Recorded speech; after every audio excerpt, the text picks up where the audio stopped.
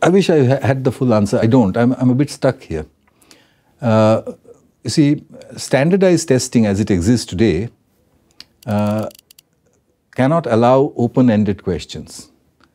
And it doesn't allow open ended questions because you won't have examiners who will mark the same way. So, so to say that, well, we should allow open ended question will immediately bring up the issue who's going to be the examiner.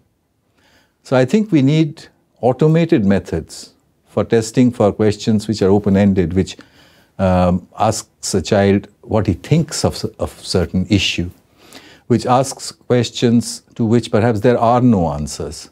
So all you can say is, well, current understanding tells us that this is what the answer might be, but who's going to evaluate?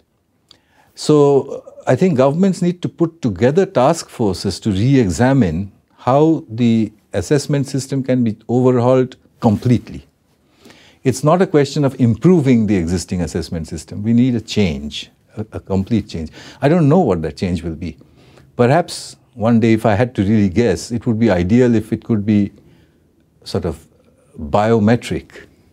So you, you, you don't actually have questions and answers, or you have questions and answers, but what you're measuring is what's happening inside the brain, for example.